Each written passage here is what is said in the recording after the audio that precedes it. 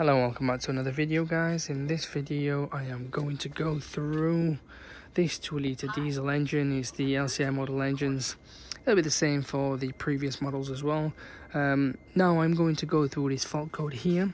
2C3200 swirl flaps and one or lever broken. Okay so that fault code will trigger engine management light on okay um, and that fault code is to be found here.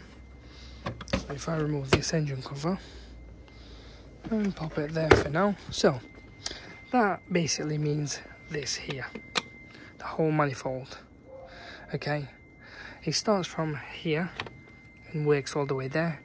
But realistically what that means is in here you've got swirl flaps little little flaps within the um, holes that go into the engine block.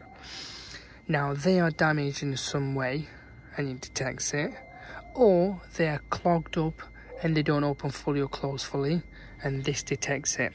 Now you have two options.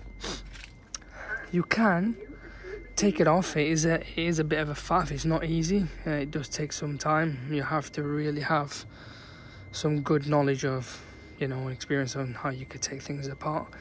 Once you have taken it apart, you'll have to dismantle it from this side all the way there are the bolts underneath and the other end. Once you have taken it off,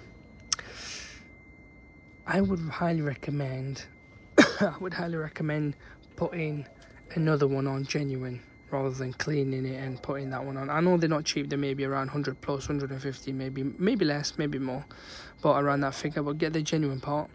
Uh, since you've done all this effort, you might as well just change it and call it a day rather than cleaning it, putting it on, and then realizing, oh no, it's not made any difference. Um, but realistically, that's what that fault code means, and that is what it is. Now, part number wise, I couldn't tell you really. Um, they usually put it in funny places, but they're all the same. I mean,